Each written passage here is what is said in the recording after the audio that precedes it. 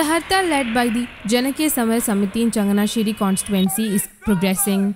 They are protesting against the police action against the anti-K-rail protesters in Madappally. Meanwhile, the opposition Congress, BJP and the Samar Samiti, the forum, which coordinates protests against the project, gave a call for a day-to-dusk Hartal in Changanassery, a municipal town in Kottayam, on Friday over the issue. ഭരിക്കാൻ അധികാരമില്ല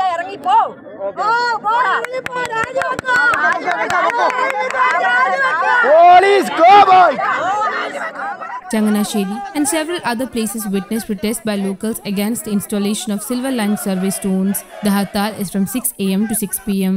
Organizations like UDF, BJP and SUCI are supporting the Hartal.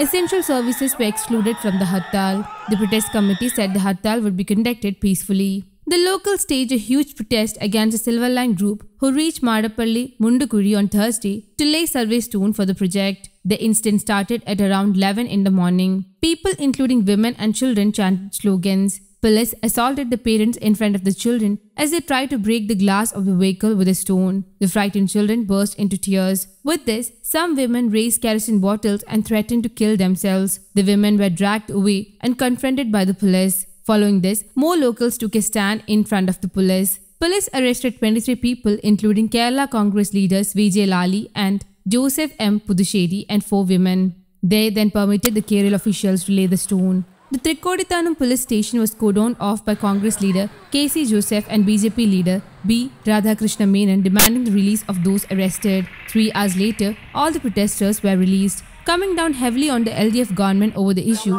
UDF leaders said that the state has been witnessing Indians' public protests from north to south against the project and as a responsible opposition, they would extend all support to the anxious commoners.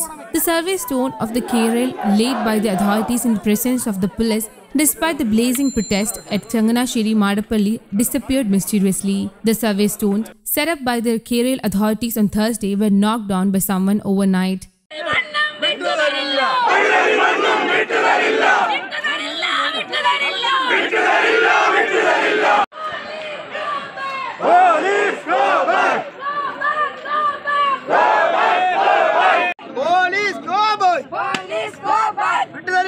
വിട്ടുതരില്ലോ ഒരിക്കൽ മണ്ണും വിട്ടുതരില്ലോ